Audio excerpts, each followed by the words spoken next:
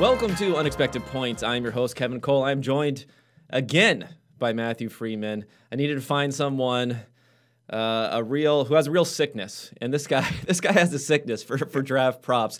And let's face it, the draft is great. Mock drafts are great. Everything else is great, but you know, let, let's let, let's put some money down on the line here. You know, it's all talk. Talk is cheap, and uh, this is a guy who we're going to go through the whole draft, uh, first round, sort of, sort of ish. What, what, what may happen? I'm going to try to keep him to some of the major themes here because I know if I let Matt go for too long, we'll be betting on over under players drafted from teams with feline mascots or something like that at a certain point here. So we're going to try to tr- try to narrow it down there and discuss some news that's gone on recently. So Matt, uh, welcome to the show once again. I know. I think this is my third time on the show. I'm basically so, yeah. the co-host at this point. I, what, I, have, I, like that. Unpaid labor is what is yeah. what we call it here in yeah. the in the biz. Right. Yeah. Exactly. I mean, we're, we're used to it. We're used to it. We we had years of it grinding early on, uh, and so I don't mind returning to unpaid labor once again with someone I used to be in the trenches with. Yeah, yeah. So we, uh, I've been listening. You got, you had a great podcast who came out. Uh, I don't know, it was yesterday probably with Chris Raybon um, and also uh, who's who's your third co-host? Sean Koerner. Oh yeah, and, Sean Koerner. uh, right? Scott Smith joined us. It was yeah, it was oh, fantastic. Yes. Yeah, so that was good. You guys walked through all this. You had some good obscure plays there. Some of the things, people on opposing side of a few things, and I think we're going to want to discuss that when it comes to some running back questions, some other questions. I have some some theories on these. Now, I've been a little bit less rigorous going through this, so I want to talk about some of your ways of looking at the process because you know, as, as much as I like to be very processes oriented about everything, when it comes to some of these draft props, often I'm just like finding players who I like and assuming they're all going to go earlier than they should, which is probably not the way it's going to go. Or I'm building in some sort of galaxy brain take of all these different trades that'll happen, and then this one player will fall to them. But I think the important part here is, I mean, maybe it'll start from, from the top when you're trying to figure out which props that you like often you know you hear it quoted and you hear the the American odds being quoted plus 200 minus 150 this and that. I mean all of this at least in my mind I always want to convert all that into probability but then yeah. again how do you think about probabilities in this very uncertain environment? Uh, yeah, so I do the exact same thing where I, I think like, okay, this uh, this prop is plus 200 that means it has a 33% chance of hitting.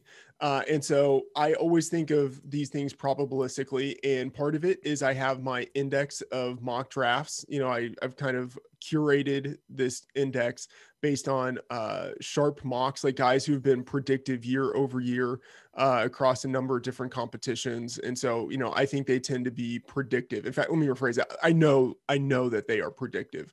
So that's one resource. And then, you know, guys who are insiders in the league, you know, Adam Schefter, if he says something, I can go back and quantify, and I've, you know, kind of half heartedly attempted to do this. Like, go back and quantify like Schefter's hit rate when he says something.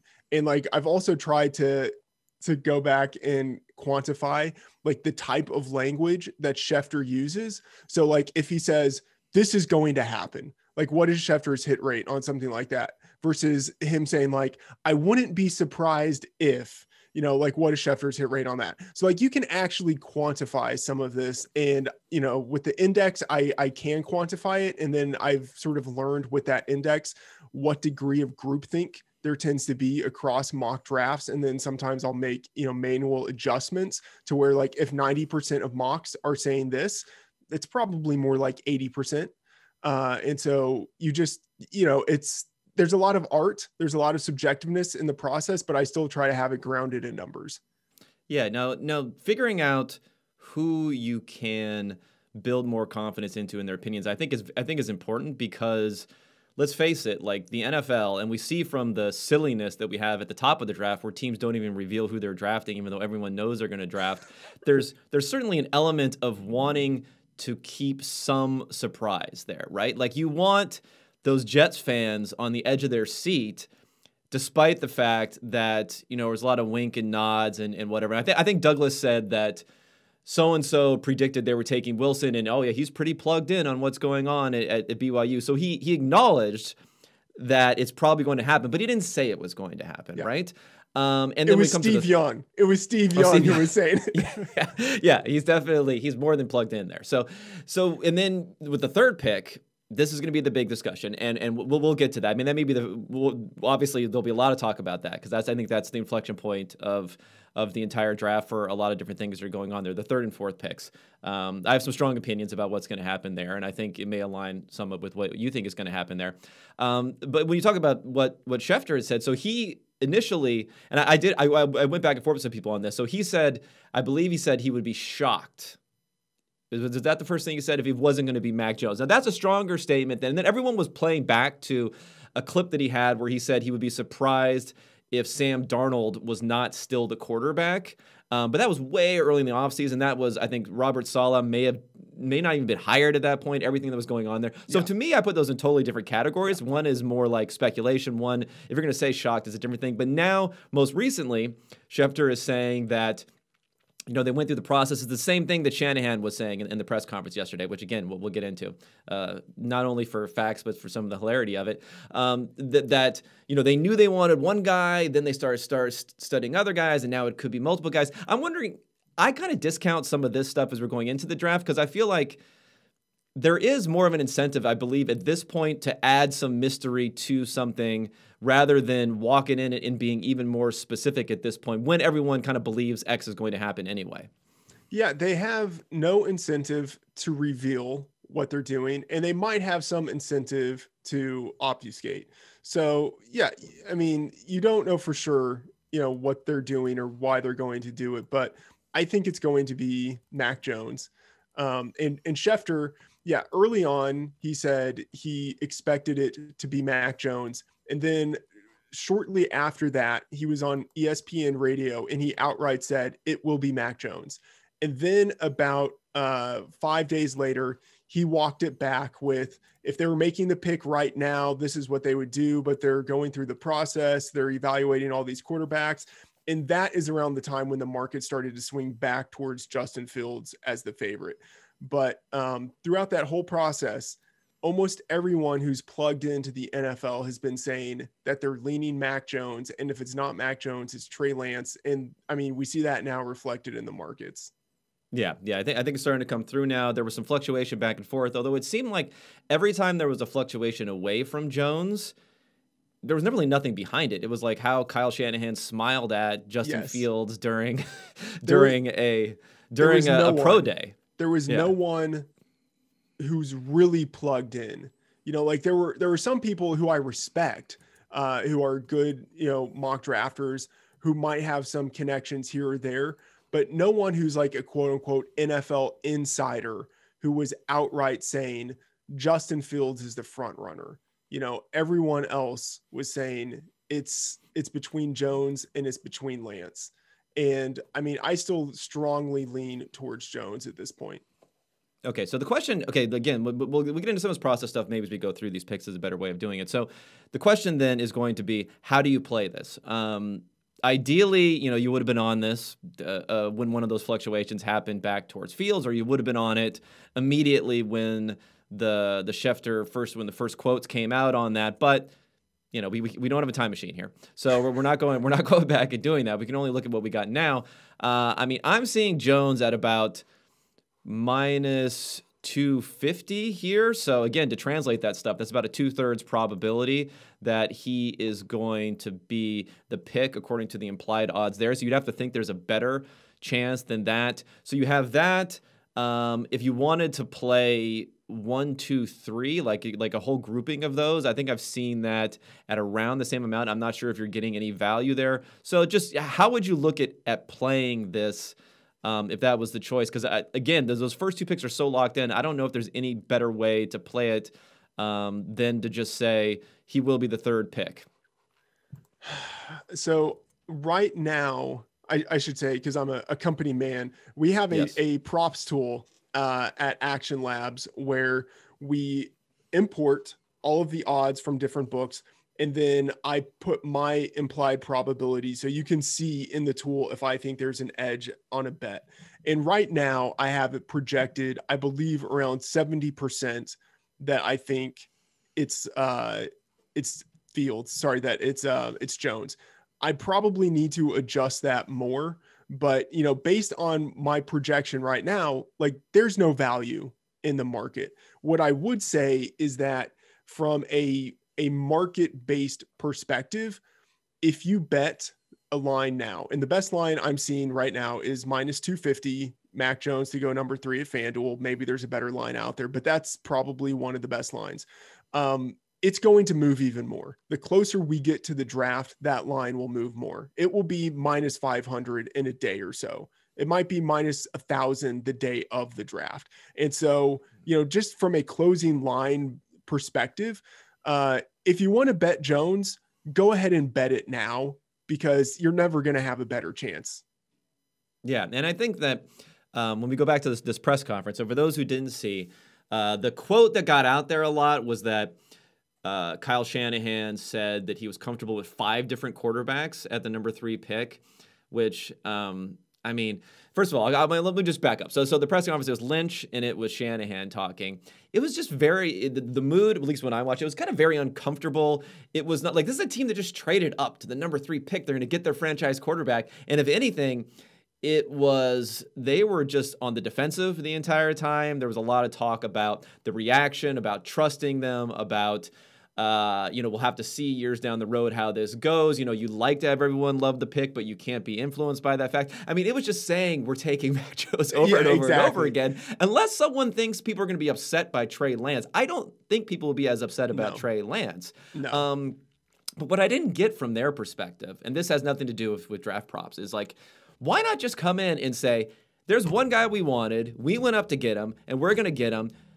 You know, going into the draft, the, the, the, team is going to, everyone's going to have an opinion. Everyone's going to say something. Once that pick has been made, fans come home. They, they come home and they they start to say, you know what, we got this guy. He th- he he has one good clip during training camp. People are gonna be like, oh wait, maybe this guy's good or better than we thought. You know, you should have trusted Kyle Shanahan. You blah blah blah. You know, like like just own it. I don't know why he wasn't owning it because then you just sound like an idiot for trading up to the third pick if you're comfortable with all these different guys, especially because Mac Jones has not been linked really to any other team. So that the cost of three first round picks sounds enormous. He was another another thing he said there was he said, well, if you would have liked to pick at 12, you should like to pick at three. No, that's not. That's not. That's He's not the guy who bets big favorites in the NFL every Sunday.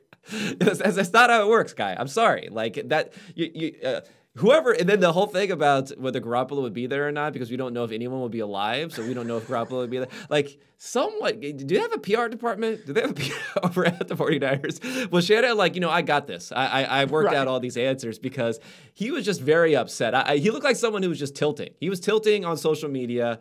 He, has been radicalized, basically, at, at this yeah. point. I think a big part of the problem is that I don't think Lynch agrees with the pick. And I think that's well. That's the reporting lot... on it. That's reporting yeah. on it. And he, yeah. I mean, I, I, put a clip in there, and, and whatever. You know, I was trying to be a uh, kind of a dick, where I put it out there saying that, you know, this is Lynch like basically assigning all the blame to Shanahan when he said, you know, you have a quarterback, you have to trust him. And now it's now when you look over what Shanahan has done. Um, in that role, I think everyone points back to the Joe Williams pick where Peter uh, King was behind the scenes back in 2016 and kind of showed how he pulled him off of the draft board to trade up to, to go get him. Um, Jerick McKinnon, I think that pretty much had a lot of Shanahan on it, where they were yeah. bidding against nobody to, to give him a big contract. Some other things that have happened. So I think he's been bad. And I think this just like really illustrates how bad his process is because his process is if I want X quarterback, you just get them, and who cares how much it costs? Who cares who else was going to draft him? Who cares about anything, basically? Yeah. I, I think Shanahan is probably very good at creating a system that uh, makes ordinary guys look great. And I think he's probably good at evaluating talent and figuring out how that works within his system. But I don't think, from a market based perspective, he's good at uh, the valuation of those players and and sort of like in a poker perspective thinking about like what what the odds are that this guy is going to go at a certain round or what the odds are that this guy is going to fetch 20 million dollars on the open market. And so you have to beat that number. Like i don't think he's very good in that sort of like business of football type of sense.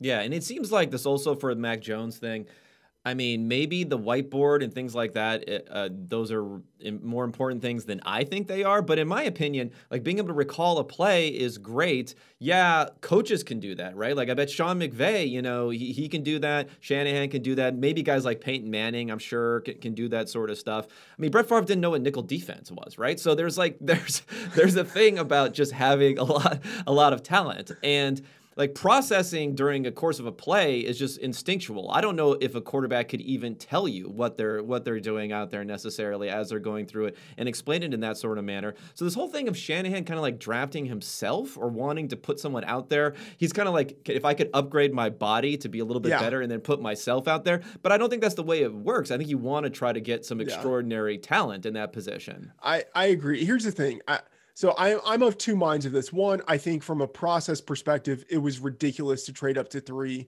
uh, if they want Mac Jones. Trading up to six probably would have been sufficient and would have cost them a lot less. Trading to seven or eight probably still would have worked. But anyway, so uh, on the one hand, I think it's totally ridiculous what they gave away. On the other hand, I do think Jones will probably have success in that system because a lot of quarterbacks have success in that system. And I think Jones out of the quarterbacks that Shanahan is going to have, actually might be the best of them. Like maybe he's not as good as Matt Ryan, uh, you know, like thinking about like their peak, he's probably not going to be as good as Ryan was in that MVP season.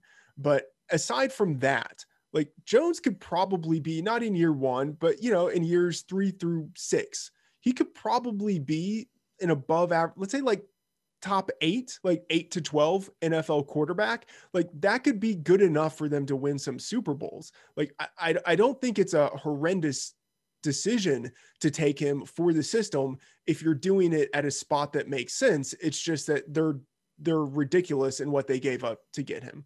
Yeah, I mean, I was actually a little bit higher before this trade on what Jimmy Garoppolo could potentially do this year because of the yes. fact that you know they they got they got Trent Williams there, they have Kittle who will hopefully be healthy, they have Deebo Samuel, we, we had the foot injury last year, he'll hopefully be, be, healthy. Brandon Aiyuk looks pretty good. I mean, this is kind of like the best offense that Jimmy yes. Garoppolo was going to have, and now and now they're they're switching gears. So we'll see if Jimmy Garoppolo uh, you know, hopefully uh, makes it to the beginning of the season. makes it to the beginning of the season. We don't see any tragic accidents there uh, uh, for, for, Jimmy there. So I think that's interesting. And one other thing I want to talk about in the Mac Jones discussion, and I think this is where people get a little bit off on the quarterback. Like you can have something where you can confidently say something is like almost 100% the wrong decision, but that does not mean there's a 0% chance that Mac Jones is better than someone else, right? I mean, you can say 100% of the time you should take uh, Trevor Lawrence over Mac Jones. That doesn't mean that 100% of the time Trevor Lawrence is going to be better th- than Mac Jones. So I think that's an important way also of looking at it. And when people try to dunk on people later on for what the results end up end up happening, that's not what we're saying. You can have an obvious, obvious, obvious decision, and you can't justify that by saying, "Well, there's a chance this guy will be better," because that's always right. the case. Right. Exactly. So, like, I mean, not to bring this back to poker all the time, because it's not as if I even play poker. I'm like right at it, but I, I think it's it's good for like analogies. Like in a poker hand, like if you're 99% to win a hand, that means like 100% of the time you know like you should be you should be going forward with uh like with playing out the hand right? Even though you know you're going to lose 1% of the time. So yeah it's like a similar thing. Uh you should always take trevor lawrence over mac jones even though 1% of the time mac jones is going to have a better nfl career yeah, yeah. So I think that's a good, that's a good way of looking. I mean, I have Jones rated below the other guy just because he's a one year sort of guy. Not even digging into a lot of the physical trait stuff because I don't think he's maybe as bad as, as some people think there. Um, but we'll, we'll we'll see going forward. So so that's there. Number four pick. Um, again, this is another one where.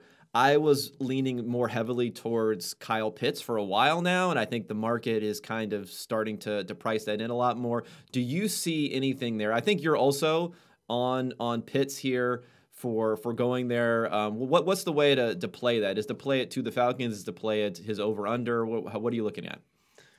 Yeah, I think his over under, and there's one sports book. Let me actually kind of make sure this is still applicable. Uh, I believe that right now he is uh, plus 210, which is a ridiculous number, under four and a half. So, um, and that's at the score. So you just kind of have to assume that he's going to go number four.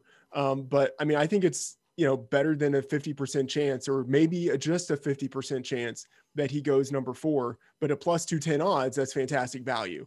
Uh, but I, I, think he's locked in at number four uh, because I think the Falcons really kind of screwed the leverage that they would have had. If teams thought that maybe they would take a quarterback, they would have been more incentivized to trade up. I think Atlanta, in theory, would like to trade down I just don't know if they're going to be able to when teams know that they're not going to take a quarterback. They know Cincinnati's not going to take a quarterback. And so why trade up to four when you can trade up to six? Right. And so I think Atlanta is probably going to be stuck there. And all indications are if they are there, they're not going to take the successor to Matt Ryan. And I think that would be Trey Lance instead of Justin Fields. But they're going to go with who they think is the best pass catching talent, and that's Kyle Pitts, who really fits in well with the two tight end system that Arthur Smith likes to run. Yeah, yeah. I, I love all of that there. Uh, you know, new regime coming in there. I also think this is a situation where the way draft evaluation works is going to lean things toward taking Pitts. I mean, it's uh, uh, positional value is not the same, but I see this a little bit similarly to like when Saquon Barkley was coming out in 2018, where there's a possibility that when you're grading these guys, all these teams do this. They grade them on like a one to nine scale. They line them up there. They think about these different things. Kyle Pitts is going to be like a nine. He's go- he's going to be like the yeah. freak, the best you've ever seen at this position, similar to like I said, how Barkley and how Gettleman. Now Gettleman aside, you know, Gettleman said he wasn't even entertaining offers there because of the fact that he's so high. So just the way that the draft system works inside these these draft rooms, when you have the rankings, he's going to be sitting there where I can see a team saying, you know what, we can go back a few spots, but at that point. Uh, we're going to be looking at maybe Chase is gone, maybe Sewell's gone, maybe these other guys are gone. I, I think teams have soured on Sewell and some of these guys also. So they're saying, you know, we're going to be jumping from a nine prospect maybe to an eight or to a what, whatever it may be. And for that reason, you know what? Let's just stick there. We got Matt Ryan. I don't think Julio Jones is going to be traded because I don't think they can get enough for him at 32 years old. Um, they were a year late if they were going to try to trade him. Not that he was bad last year, but he only played nine games. Um, and people are not going to want to jump in front of a potential you know train wreck in that regard. So so I think everyone's going to be there, and they're going to say let's let's push forward for the next for the next couple of years. Uh, Arthur Smith is is probably not going to want to take a year off either, and necessarily say we're going to do a, a, new quarterback rebuild type of type of situation. So, yeah. uh, for all those reasons, I think Pitts is the one guy in this class, the one non-quarterback where a team can definitively say we're, we're like we're just not going to move back even if we could get some value here yeah and you know check check your numbers out there there might be value on um on pitts as the first non-quarterback drafted in the class yeah I mean, that would be pretty. I mean, that'd be amazing also for a tight end to, to, to, go there. I think we saw, I guess it was Vernon Davis was the fifth pick, but he was number six. He was oh, six. six. I think I think there were three or four non quarterbacks taken in that draft. Uh, Kellen Winslow, I guess you can go back to him. He was in the he was right at the top of the draft. I mean, Mike Mike Ditka is number five. Like going back in the day, way, right? Way, way, way back. back. He, he's the highest drafted tight end in NFL history, and honestly, maybe the greatest tight end in NFL history. Like as a rookie, he had the greatest tight end season to that point uh, in NFL history. Hall of Famer. I mean, that's the kind of prospect we're talking about with Kyle Pitts of thinking of like this guy could be the highest drafted tight end in, in history. Uh, it's pretty incredible. Yeah, we'll we'll see how quickly he can acclimate himself to the NFL. But you figure like Julio, Ridley, Pitts, Hayden Hurst doing whatever Hayden Hurst does. Um, it, could be nice for for Matt Ryan. You know, maybe some some low key. I think Matt that Ryan, offense 80 could be one MVP. Yeah, 81 MVP. And by odds. the way, they have they are right in the wheelhouse to take a running back at the top of round two. Like whether it's Etienne who falls to them or Javonte Williams, a lot of people are high on him. Like they could take a very good running back at the top of round two. And like generally, I think it's like, okay, why take a running back that high? But like that's something they could do. And if they do that, their offense looks totally different. Like all of a sudden, you look at the skill position players they have, and it's like that could be a pretty exciting offense. Yeah, yeah. I mean, we'll, well, I have some running back thoughts that we'll we'll talk about, which could be a little counterintuitive than what most people might think my running back thoughts would be. Um, but we'll get into that a little bit later. So now this is this pick here, the fifth the fifth pick, or what may happen here. God, it's one of those things where I just don't know. The rumors are ownership wants uh, Ja'Marr Chase here. And like I said, I think there's been some souring on Penei Sewell, or, or you know, the, the difference between he and, and Slater may not be that big. So there's a little bit of conflation there. Um, but God, I, like another thing I'm wondering about here is I think this is an important part is like where does the next quarterback go? And is there any chance the Bengals trade out of this pick? I haven't heard about them moving, which makes me think maybe they're really, really locked on on Chase. Like maybe they really don't even want to accept. Like I would take a first round pick, maybe lose Chase, and then just look to see who else is there. I would totally do that, but maybe they, maybe we just think they're not going to do that. They have no chance of doing it. What, what's your opinion on that? Because that could be the thing that could throw off Chase yeah. in some, in my opinion, maybe even more than going with another player. So what what I see in mock drafts, and then what I've heard from a guy who knows a guy, for whatever right. that's worth, it's, it's total Saul Goodman. Uh, All right. Well, now I'm a guy who knows a guy who knows a guy. Yeah. Uh, what, what I've heard is that the the coaches and the scouts wanted Sewell, which makes yeah. sense. Like protect your quarterback, and of course, uh, you have Joe Burrow in there petitioning for his number one college wide receiver, and ownership overruled the coaching staff and they don't want to disappoint their franchise quarterback. So they are going with Ja'Marr Chase. Like they are locked in with Chase, even if the Falcons traded down and a quarterback went number four and Kyle Pitts were available, I think they would still go with Ja'Marr Chase. Like, I think this is a very locked in pick. It's Chase. Even if they had the opportunity to trade down, I don't think they want to disappoint their quarterback. Like, he wants his guy, and, and that's Chase. Yeah, I mean, it makes sense. I mean, if, if he wants it, it makes sense. Also, I think the ownership angle is really, really important. In fact, for the Falcons, we got a little hint um, a few weeks ago about ownership wanting to stick with Matt Ryan. I mean, for yeah. me, that was like alarm signals were going off and when that happened because I kind of assumed that Arthur Smith may also want to stick with, with Matt Ryan because coaches want to win uh, yeah. immediately also. So those two things coming together, ownership is huge. Own- ownership wins. I mean, they they you know they they pay the bills. They run the show. Um, so it, it comes down to it. Everything has to be cleared by those by those guys, and they have to be on board. And if so, the quarterback and a lot of these teams also kind of becomes like a de facto stakeholder in a lot of these decisions too. So those two things make sense. Now.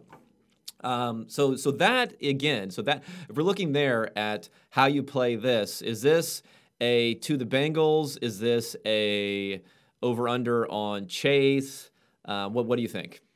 I don't think there's much value in the market now on Chase because this is pretty assumed now that he's going to the Bengals. And so whether it's the over under of five and a half or six and a half, uh, or whether it's um, you know Chase to the Bengals, you can bet that. But I don't think there's any value in the market there. Interesting. Now, uh, okay, so there are a couple different things as we're going through this um, on a team by team basis that we also have to think about. One is like where do these quarterbacks go next, right? When yeah. we're thinking about where they're going to go in the top ten. Um, it on the the Schefter podcast the earlier this week the there's one quote that got a decent amount of play, and that was his talking about exactly what Shanahan reiterated about liking different quarterbacks and everyone moving up. But another thing Shanahan said, just to go back to the Mac Jones thing really quickly, he also said our number one guy. He said every he said players moved up as part of the process, like other. He also said our number one guy also moved up. So again, it's like Mac Jones. Like you're not going to yeah. not take the number one guy yeah. who got better according to yeah. your evaluation, right? Um, anyway, uh, we probably spent enough time, enough time beating that one to death, especially when it comes out to be someone else, and then we have to uh, backtrack everything there. So. So, so, so he also sees, he said 95% chance in his mind that Fields would still be there at pick number six. But when they said what was the probability uh, according to ESPN's modeling on mock drafts was like an 80 something percent chance that uh, Lance would be there, and he's like, "Oh, I think it's a lot lower, a lot lower than 85% chance." So, what do you think about Lance? I think that's an interesting one where again, like, do we know what the Dolphins are, are going to do? I mean, they move back up to six, so that makes me think it'd be weird if they move back down. But like, I don't really, I don't really understand. I don't understand what the Dolphins are doing, basically. Yeah. Because everyone's talking about them maybe moving down, but then why did you move up if you're going to move down? So uh, a couple thoughts here, and let's talk about the the Schefter quote. And so he yeah. said a lot of it with uh, with Lance comes down to what San Francisco does. Uh, mm-hmm. Uh, but then there's also you know the possibility, uh, remote possibility, but possibility that Atlanta takes a quarterback. If they do, I think that's Lance and not Fields. Okay. Uh, and then, so you think it's more about that than it is about someone else coming up to get him? Well, I, no, but then at number six, there is the Yeah. possibility that a team will come back up. Um, what what is interesting about Miami, like they are looking pass catcher, and at the time when they traded up, they I believe were under the assumption that one way or another, either four quarterbacks would go ahead of them, or maybe they would see Penei Sewell go in the top five, and then that would mean that either either Kyle Pitts or Ja'Marr Chase would fall to them. Also, because they weren't trading up in the heat of the moment, they weren't like trading up specifically for a quarterback. They didn't have uh, as much like of a pressing need to move up, and so like I think they were able to move up without like paying away everything. In the draft now, if a team wants to move up for a quarterback, I bet that the Dolphins will be able to get more for the number six pick than the Eagles got for the number six pick in that trade because the, the quarterback needy team will just press more and probably force themselves to give away more in trading up. So I don't think the Dolphins necessarily made a, a massive mistake in trading back up to six. They're giving themselves the optionality of taking one of the two elite pass catchers if that guy slides down to them, or the option of also trading to another team that needs a quarterback and maybe getting more than they gave away to move up. If they stay at number six, I don't think they take Sewell. Uh, I think they probably take a wide receiver. And the real question there is it DeVonta Smith or is it Jaylen Waddle? A lot of sharp people are leaning towards Waddle. I kind of lean a little more towards Smith, but I, I, it's a coin flip. Really, I think that's a coin flip. Yeah, because okay, so that whole trade with the Eagles just it doesn't make sense to me in like a number of different ways. Number one, if you were the Eagles, why not why don't you sit there and be in the catbird seat here to potentially trade back out and and get that sort of ransom? So they must have thought that maybe they they're hearing the field stuff is is, is being a guy who's going to slip down and no one's going to trade up for him. So therefore they decided they they thought this was the best return that they could get on it. Um, again, like I said with Miami, like you figure from Miami's perspective, they ran out their scenario planning and they thought to themselves, maybe they didn't, they weren't targeting six, maybe they couldn't get to five, they couldn't get to four. Um, but they the, maybe even the the the Lions don't want to leave, so they said, and the and the Eagles are always game. And so then they decided, well, we'll go there and we're going to get one of X number of guys that are going to be there. Now, I guess okay, this is this is no knowledge of of anything, which is kind of how I do, which probably isn't the best way to to preface what I'm about to say here. But um, like if I look at Tua Tagovailoa and the type of player he is, like I do kind of like Waddle there only because if you think about when you, when you watched him play, his problem was in, in his first year, he was not like willing to to throw to covered guys. That was when Fitzpatrick just came in and was doing, you know, just throwing up back shoulders, was doing other things, this and that. He was a little bit less willing to do that. He's he's a little bit more of maybe like a YAC quarterback if he can if he can get those guys. So I just feel like Waddle fits into there. Now looking at when they played at Alabama together, uh, Waddle kind of had a down year during um, during Tagovailoa's last season, but uh, Waddle's freshman season, when Tagovailoa really dominated and was and was the guy there, like he had a pretty good freshman year. He had more he had more production than DeVonta Smith did that year. So I do think there's a chance for Waddle there. Um, and there's also buzz about Waddle. Now, this is how much you believe that. I've seen some some plugged in guys like this guy Eric Galko, who just got who's just like the Shrine game. He's going to take over being the player personnel there. He's plugged in a bunch of teams. He says and he was early on Kyler Murray uh, um, a couple of years ago as being the number one pick. He says that there are a lot of teams that have Waddle at number one on their board. Now that that it is, that doesn't mean he's going to go number one, right? Because we have the Bengals there. But I do wonder about the the buzz is clearly positive on Waddle and negative on on DeVonta Smith.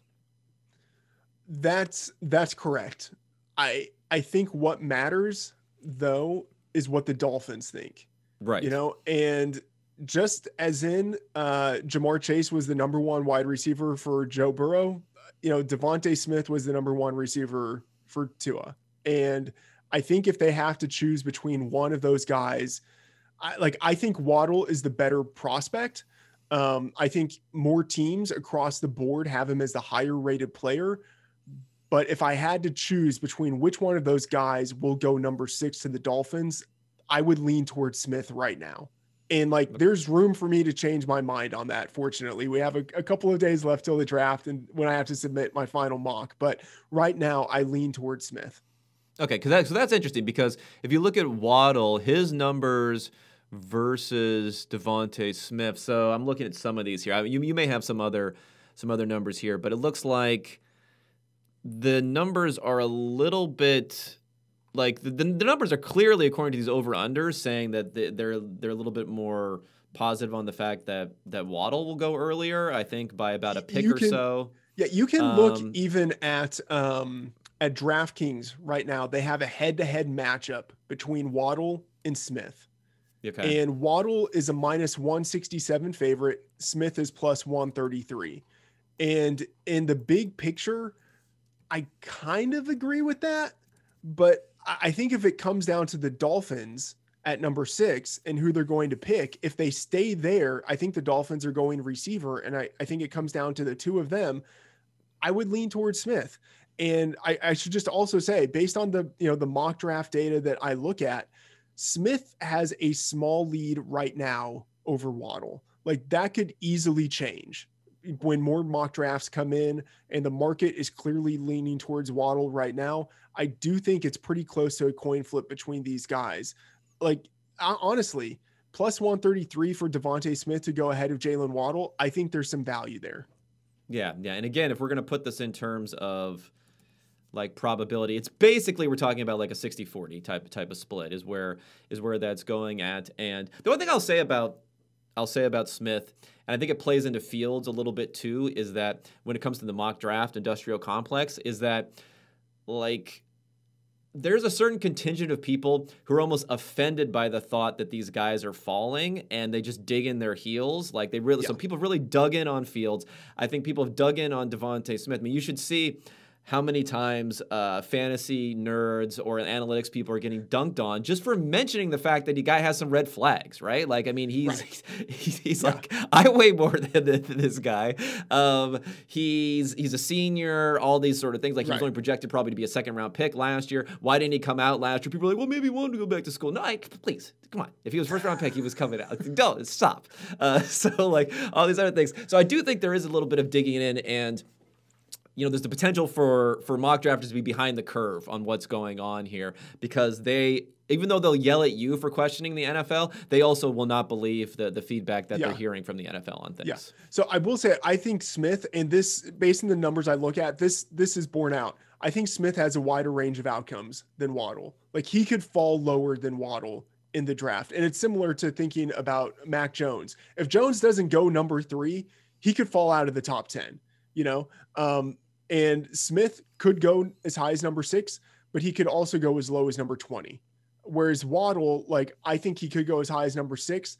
I don't think he would fall much further than number 16, you know, and maybe he might not even fall that far. So, like, Waddle does have a, a higher draft floor.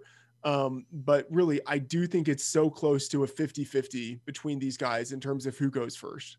Yeah. Yeah. I mean, we have a decent amount of evidence, whether it's John Ross or uh, Henry Ruggs last year or something like that. That you know sometimes you just need one team to kind of fall in love with this dynamic yeah. potential, and they end up going for it. It's not just like the Raiders are idiots. It, you know there there are other teams that will that that will do this sort of stuff, and I think right. Waddle is like vastly better prospect than Henry Ruggs also.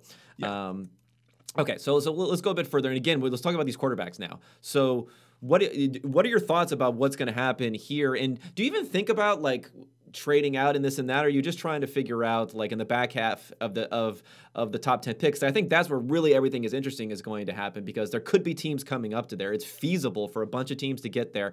But is this a situation where maybe Trey Lance and Justin Fields are like Tua Tagovailoa and Justin Herbert, where teams are just going to say, you know what, uh, we're a little bit ambivalent on them, and we'll sit back and let them fall to us.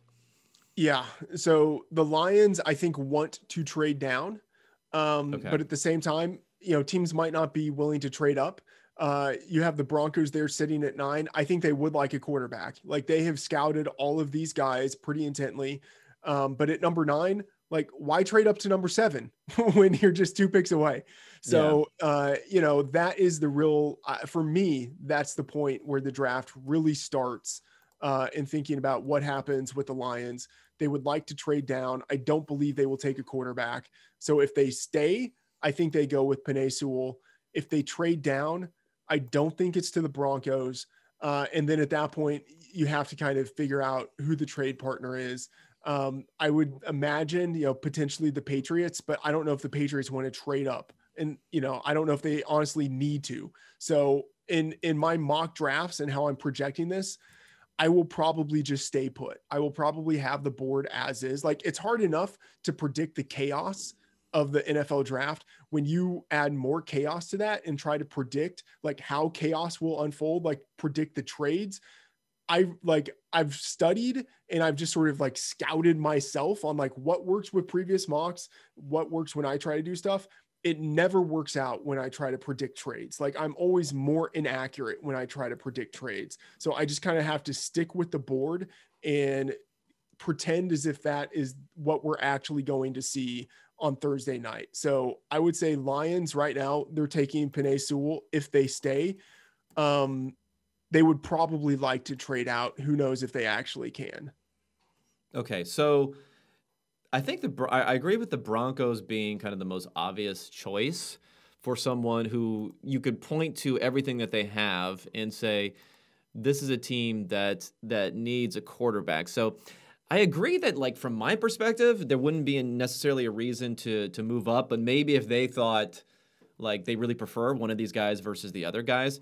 And I do think there's an interesting play here where at least I'm looking at um, some some lines for for the Broncos at, at BetMGM where I see taking a quarterback is minus 110, taking uh, Fields is plus 400, and taking Lance is plus plus 300.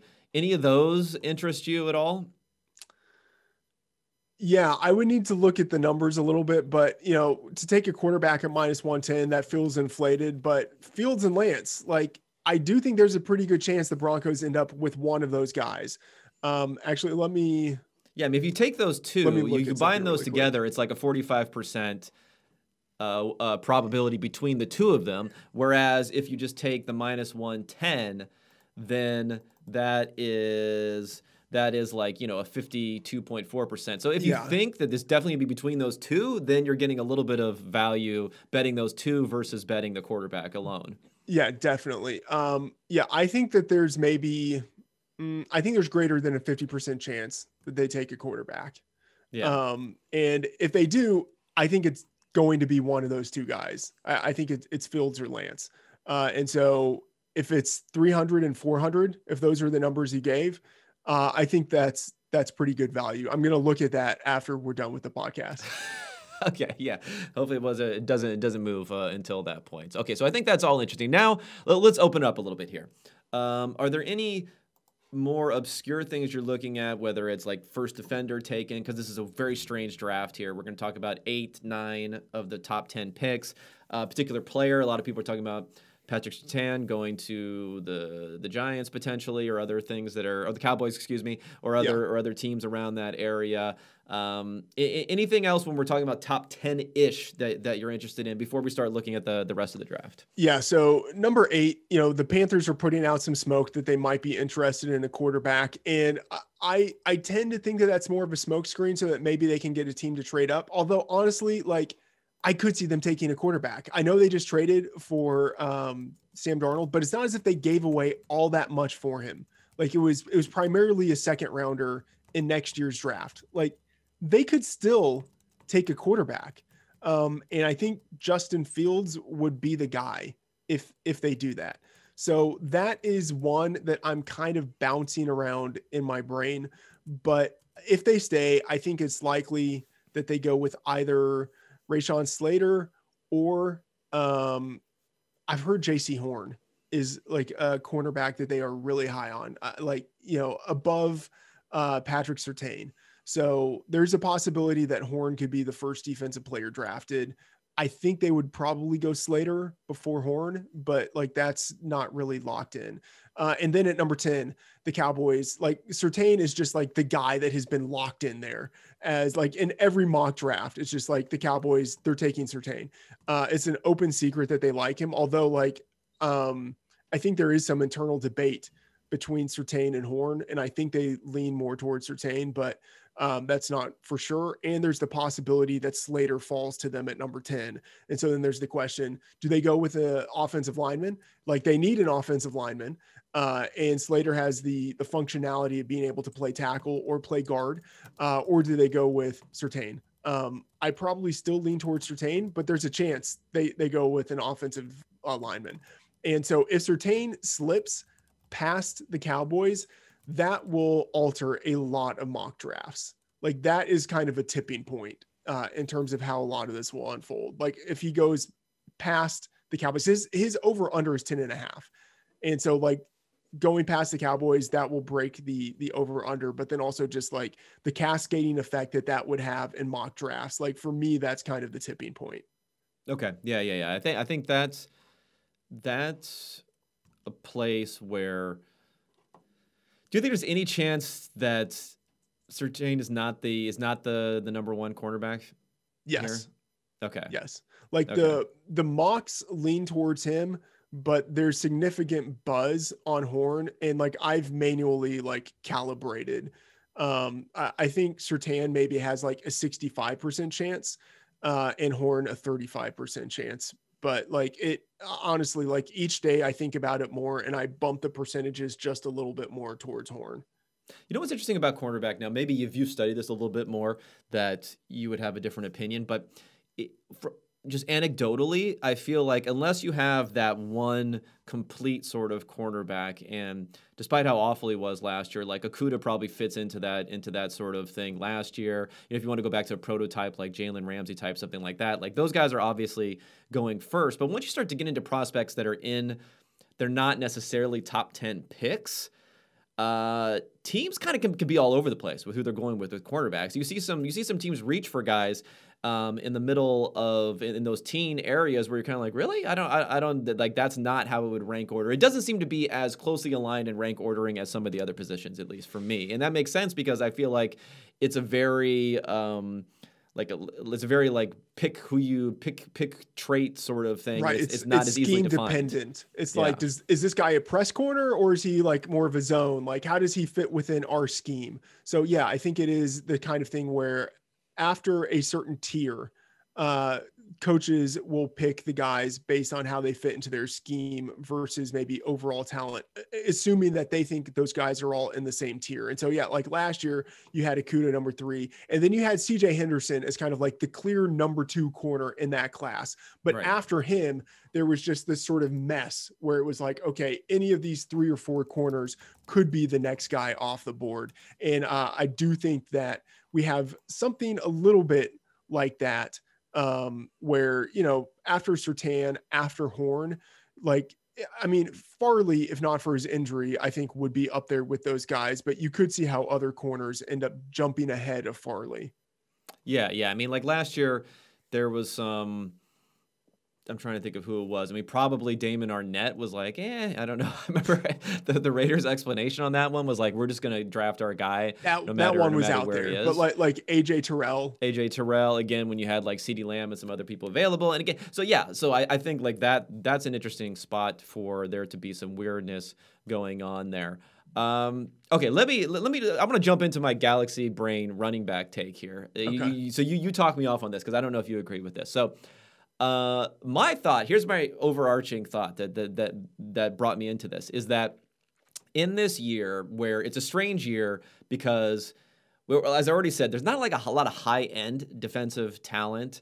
Um, it's, it's it's talent rich at the top. I think teams are very concentrated at at, at, at these top guys, and then you have all the the, the opt outs the shortened seasons, the inability to do all the sort of the, the, the, sort of work that you would like to do, maybe to to get in and really be confident in these guys. So as confidence goes down generally, I think positions that are more likely to quote unquote hit uh, maybe can rise up, despite the fact that they don't have that much value. So I could see this weird thing happening where teams who need running backs, and there are teams who at least think they need they need running backs in the second half of the first round, that they could say, you know what, guys like Najee Harris, guys like Etienne, even guys like Javonte Williams to a degree, but especially those first two guys as seniors who had like long track records of of excellent of, of, of you know high end play, they could say, mm-hmm. you know mm-hmm. what, let's just take him now because that that second tier of running backs, eh, eh, we don't know what's going it's on nasty. there. We're yeah. not too happy about that, right? So yeah. let's just go ahead and take them now because we have less certainty. And in the second round, we can throw more darts at these other positions that we also have needs for. So I'm wondering if like over even one and a half running backs and things like that may be interesting places to look, um, assuming some teams could could move up and lock that in. And you know, I, I don't know about Harris versus Etienne. I think I think it's a coin flip ish sort of thing. So maybe there's some value on Etienne. I'm a little bit less confident there. I, am more confident that more running backs could go early than we think will go early. Early that's, meaning first round. That um, I, I think that's fair, and I, I, can see yeah with the idea of. Let, let me look and see what I've bet so far. So early on, early being uh, early April, uh, I I took under one and a half running backs at minus two hundred. Yeah. Um, I still think that's a good number, right? You know, like 66% break even rate. I would say that there's better than a 66% chance that we see under one and a half running backs in round one. But I don't think that number is as good now as I did a couple of weeks ago. Um, like a couple of weeks ago, I would have said it's maybe like an 80% chance that we see um, we see under one and a half. Now I think it's probably closer mm, 75% maybe because I, I do agree with the premise uh, of your take there that um, with less confidence people are going to be more inclined one to sort of just take their guys but then also like take what they view as sort of like a sure thing. And even though we might think that running backs are kind of replaceable uh, i think we have a pretty strong sense of what Harris and Etienne specifically will be as professionals in the NFL. And then again, like Javonte Williams, uh, a lot of teams are also pretty high on him too.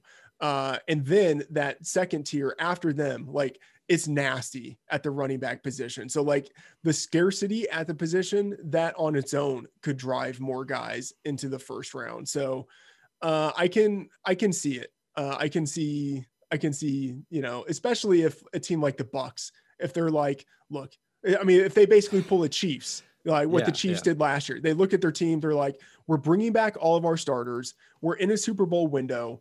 We have a pick here. What can we do to upgrade immediately one of the positions on the field? Honestly, the only pick they could do to make an immediate upgrade on a starter is running back. You know, like if they bring in Etienne, if they bring in Harris, that guy is an immediate upgrade on Lombardi Lenny you know? Yeah. But that's no. the only way they can immediately upgrade in the first round.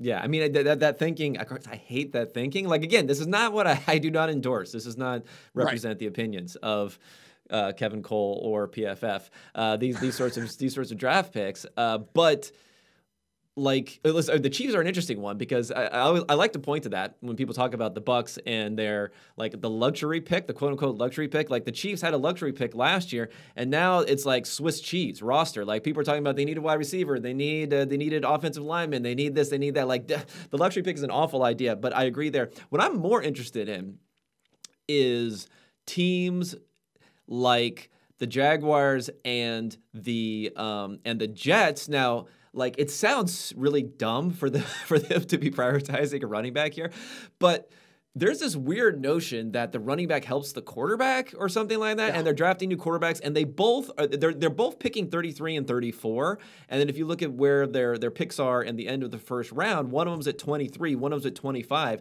like maybe and and they're ahead right of some some other yeah. teams. Uh, the Steelers are right in between the two of them there.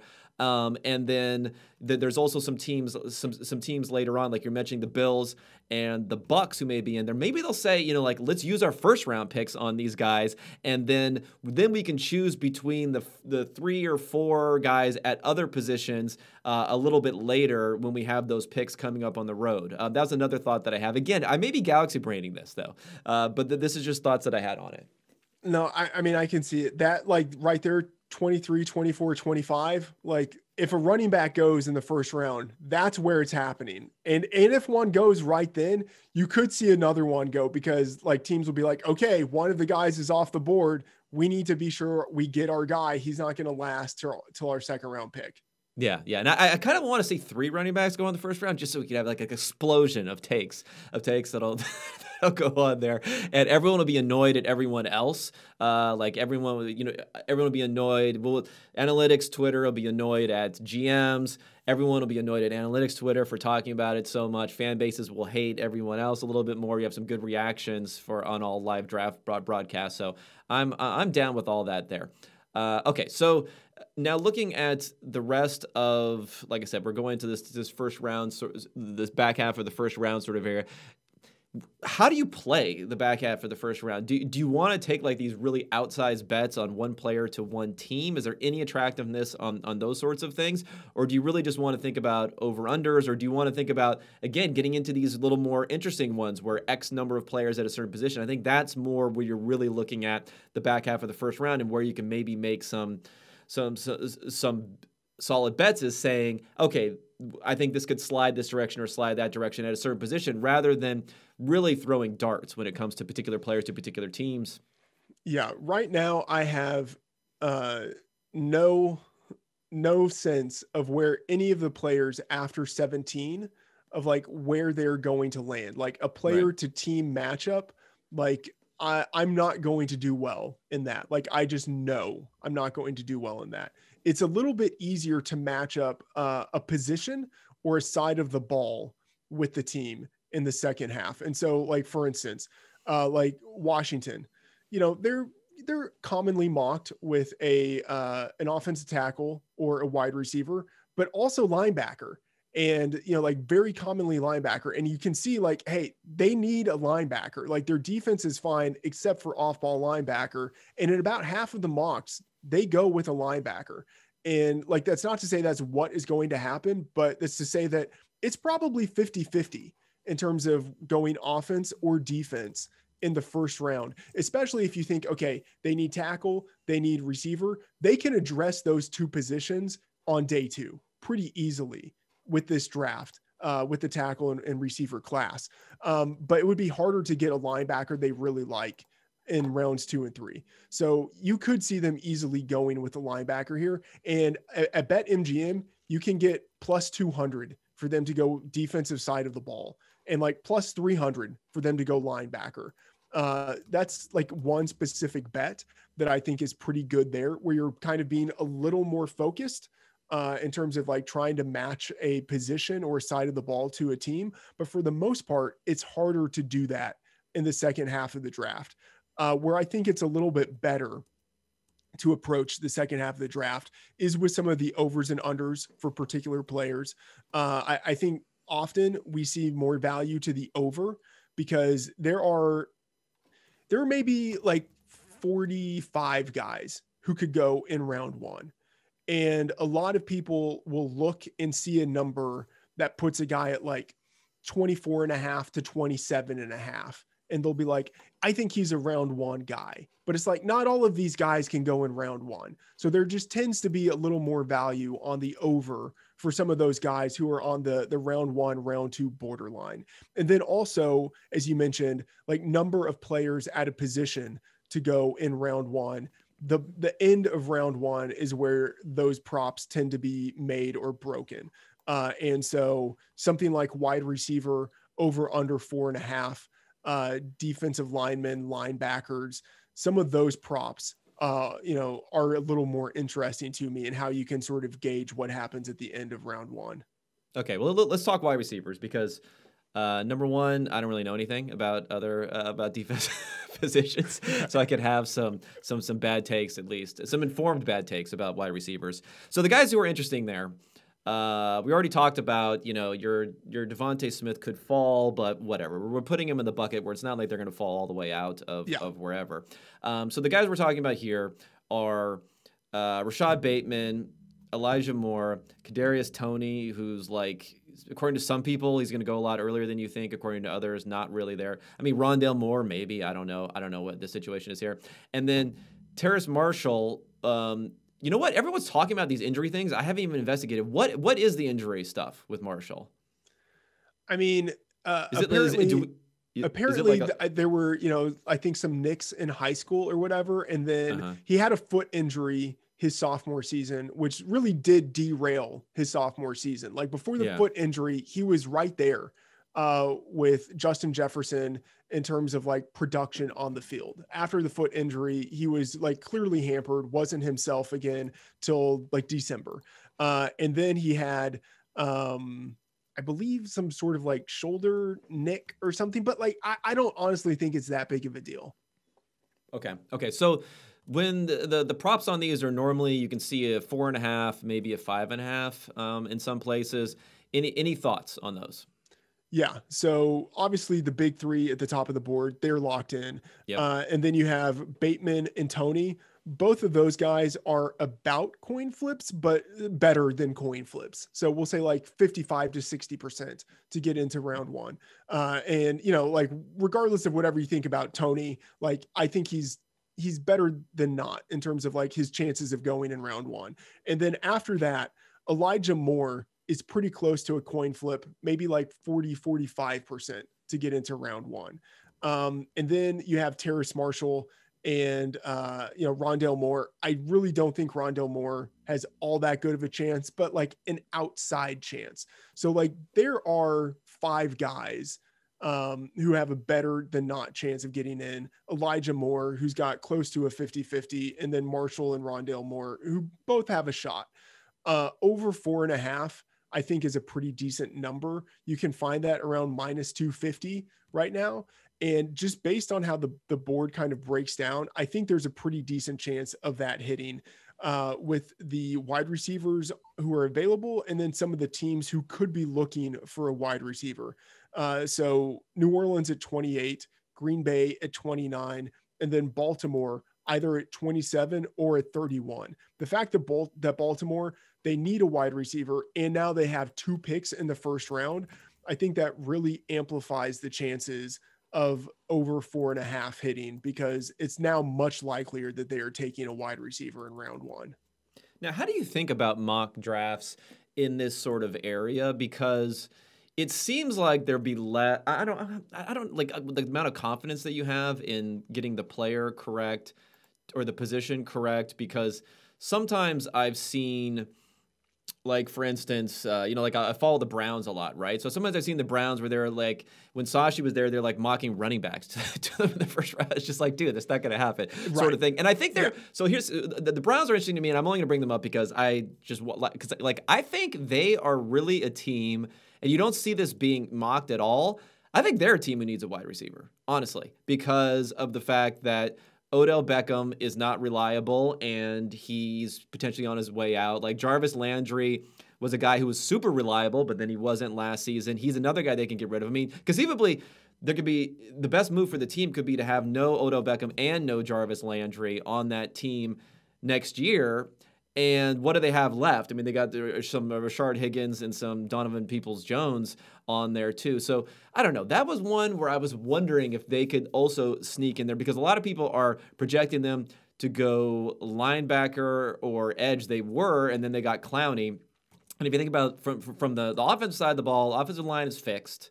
Uh, the, the the running backs are are really good. The defense, like I just don't think they're gonna say I'm gonna spend this pick on uh, off ball linebacker. That would be like. Ugh, you know, from, from some analytics sort of sort of standpoint, the cornerback. I mean, maybe they could go cornerback there. I think that that's like some position you could always need more depth on if they're not sold, and they probably aren't sold on Greedy Williams at, at this point. But what what do you think about what do you think about that for a possibility? If I'm going to go like like maybe analytics darling Rashod Bateman to the Browns, which would be pick 26, which is right around where some you can get some over unders if you want to take the under on him at 26 and a half, you can get some good some good numbers there. Yeah, so that is the wheelhouse for Rashod Bateman. Uh, a, a, couple of things. One, you mentioned uh, sort of like thinking about mock drafts and how to use them. I will say I think mock drafts tend to be pretty bad when it comes to landing um, a player to a team right? Okay. That's like in predictiveness, like I've uh, learned the hard way, they're not too predictive in the outside of the top 10. They're not too predictive at that. Where they tend to be pretty predictive uh, in the aggregate is setting over unders for particular players. Uh, they like collectively tend to be pretty good at that, and they tend to be pretty good at setting over unders for um, for position groups. So you know, like if you see in like 75% of mocks that there are five defensive linemen going in round one, like that's that's a pretty good indication that you're likely to see five defensive linemen in round one. And they also tend to be pretty good. At, and this, you know, like corresponds obviously with setting over unders for players, but they tend to be pretty good at ordering players within the same position group. So giving you a sense that this player should go ahead of that player at the wide receiver position. Um, now, to your question about the Browns, uh, I think they probably go defense here. Like you're seeing that in like 95% of mock drafts. But again, there's a lot of groupthink in mocks. So I would say like the real percentage is probably like 70, 75% that they they go defense.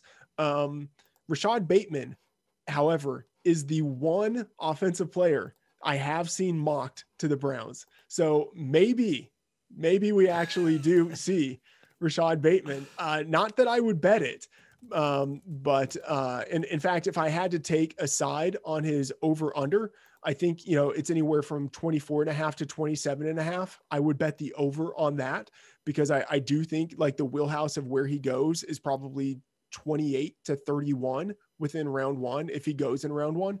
Um, but Rashod Bateman, 26 to the Browns, like that could happen. I would say there's an underappreciated chance of that happening. Most people would probably think there's like a 1% chance of that happening. I think the real odds are probably like two or 3%. okay, so you're saying there's a chance. That's I feel like I'm. I feel like we're doing. What the, I'm saying is, it's you know like two to three times likelier than your average mock drafter or average football fan would probably think. Yeah, yeah, no, this is definitely one of those takes where it's like I, am I'm, I'm like doing the fan thing here to try to figure out like I want the team that I like to go with a player who who I like. I mean, I just think I just think like Bateman's. I just think the guy's incredible, honestly. Um, so it'll be it'll be interesting to see um, if if anyone agrees with me there. All right, any anything else we don't uh, as far as different props that you're looking at or themes that you're looking at here. Um, maybe even maybe some that could even dip into the the beginning of the second round? Uh, one guy who's on the borderline of round one and round two is Trevon Moehrig, the safety out of TCU. Um, I think he's head and shoulders above all of the other safeties in this class. He won the Thorpe Award last year as the uh, you know the top defensive back in the nation. Um, he's coming out as a junior. I'm yet to see, um, especially in any mock of the past like month or two, I'm yet to see a safety go ahead of him in any mock. And if you look across the different big boards that are out there, you know, Moehrig is typically in the 20s and 30s.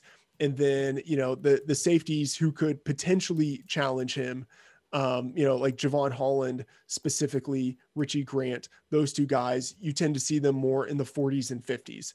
Um, it's around minus 400 to to bet on Trevon Moehrig to be the number one safety, which could seem fairly ridiculous. Of like, do I want to lay minus four hundred on a guy to be the number one player at his position? But like, I think that's a slam dunk. Um, and specifically, like if you look at Ja'Marr Chase, like the you could have bet you know minus four hundred uh, a month ago for him to be the number one receiver. And you would love to be able to get those odds now. Like, I think it's a similar situation with Trevon Moehrig. Like, he should be like minus a thousand to be the first safety, and he's only minus 400. So I think there's like significant value on betting on him. Whether or not he goes in the first round, I think there's a very good chance, like, very, very good chance he's the first safety off the board.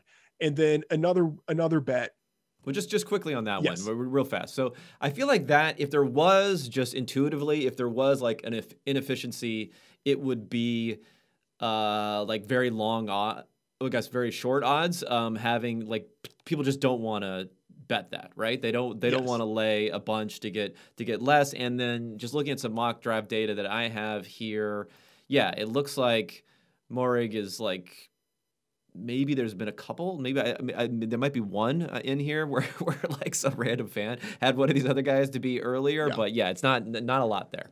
Yeah, I mean it's it's uh I would say like 90 above 90% probability that Moehrig is the number one safety. It's weird. I feel like safety is actually a little bit more stable sometimes than cornerback has been also for for where where where teams have these guys ranked. But go ahead. Yeah.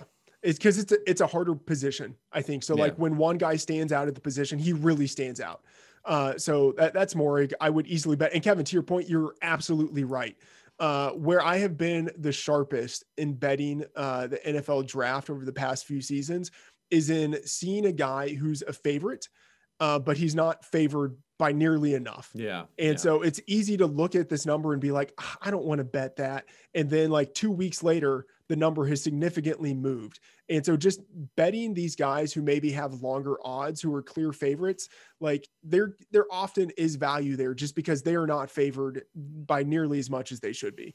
Uh, and, and the next bet I have is another one in that vein. Under five and a half quarterbacks. Um, sorry, sorry, sorry, sorry. Uh, yes, yes, yes. Under five and a half quarterbacks. I think we get exactly five. Only once in NFL history have we had six, like that 1983 class uh, you know, of, of, Hall of Famers. I do not think we are going to get a six quarterback in this class. Uh, in no recent mock draft uh, from Sharps have I seen a sixth quarterback. Uh, Peter Schrager, you know, uh, he's he's great when it comes to his final mock. He's pretty contrarian uh, with some of his takes in his first mock. He had Davis Mills uh, out of Stanford uh, as the number six quarterback, going number 32 to Tampa Bay in his first mock. In his second mock, did not have Mills in there. Uh, so, like, we're not going to see, I would say, like 99% probability, we are not going to see a sixth quarterback in round one. And so you can bet that around like minus 500. I would bet that to minus whatever. Like, we are not going to see a, a, a sixth quarterback in round one. There's there's no clear quarterback who is like the number six guy in this class, right? And, and out of the big five, there's no one who's really gotten any round one hype. There's some guys who are getting second round hype, but I mean, even then, that doesn't really mean much. And I should say, uh, Benjamin Robinson of Grinding the Mocks, he did a really great study at Football Outsiders last year where he looked at mock draft data and showed that um, relative to mocks, quarterbacks consistently fall down the board.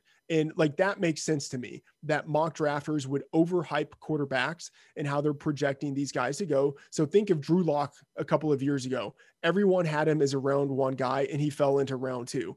Uh, even like a miniature version of that, Dwayne Haskins, everyone had him as a top 10 guy and he fell to number 15.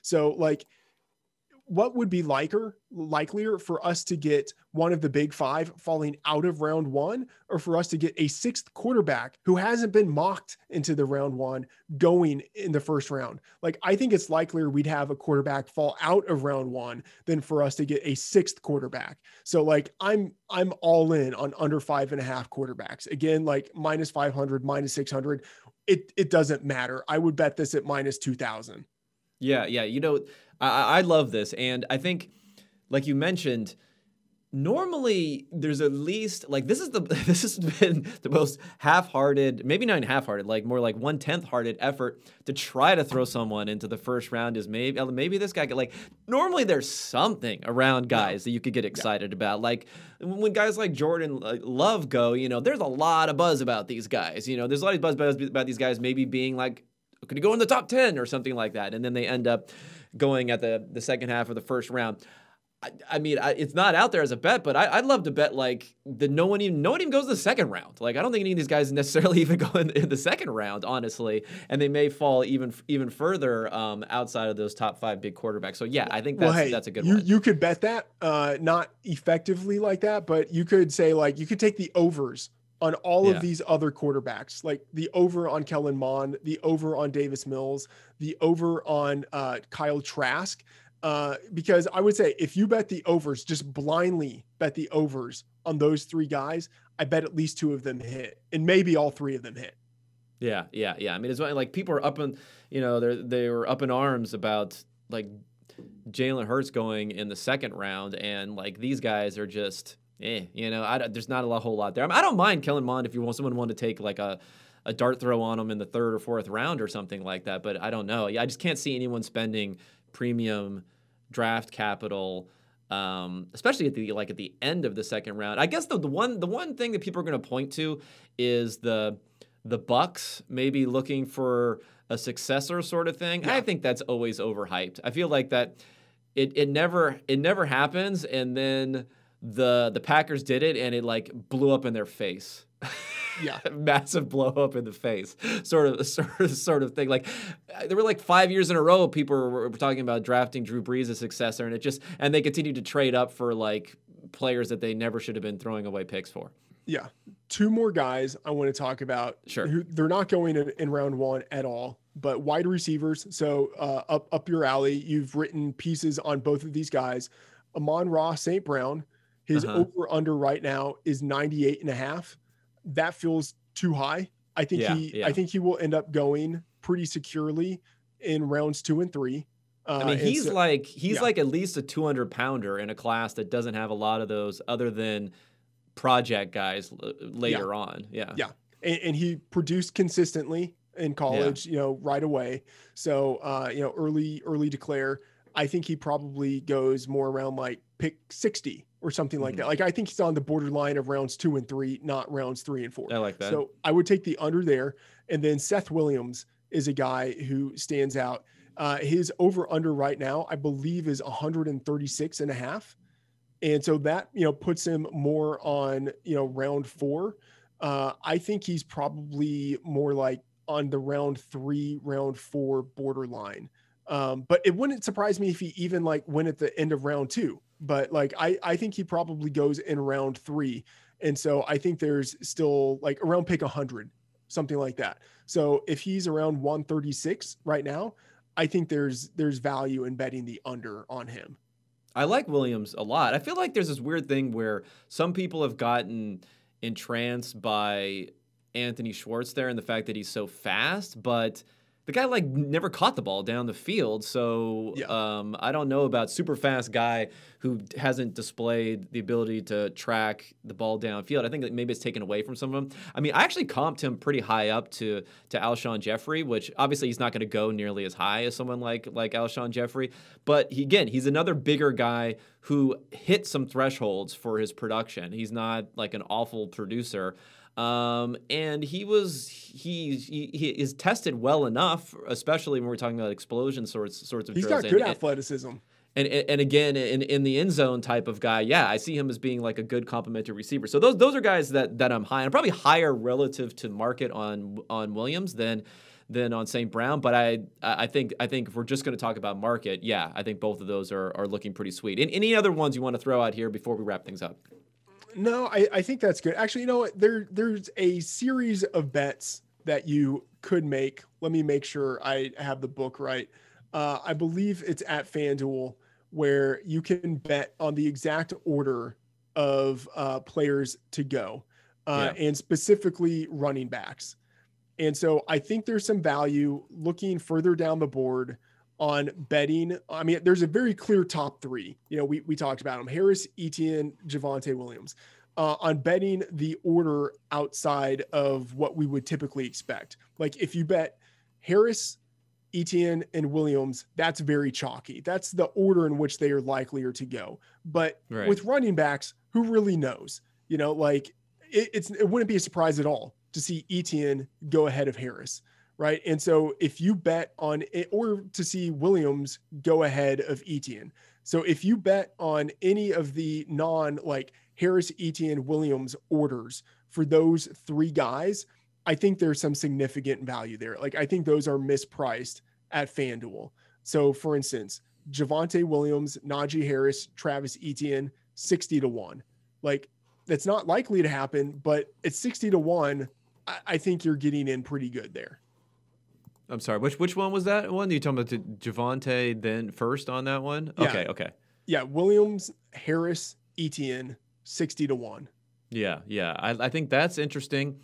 Uh, I'm surprised looking at these, honestly, that Harris, Etienne, Gainwell, and Harris, Etienne, Carter are shorter odds than Harris, Etienne, Sermon.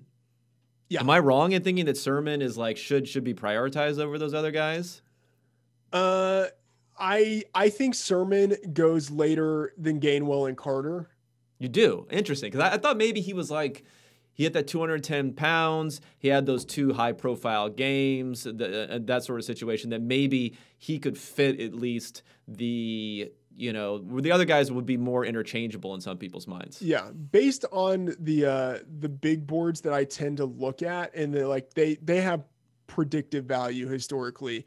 I think Gainwell and Carter go ahead of Sermon. Like I think they're day two guys, and I think Sermon is more on the round three, round four borderline. So like I don't like I understand Gainwell and Carter going ahead of Sermon. What I think is horrible in all of this is Gainwell and Carter going ahead of Javonte Williams in any sort of combination of this stuff. Yeah, yeah, it's funny because I mean, yeah, we're talking about like plus 340 on Gainwell. Like it's almost it's just, it's really up there.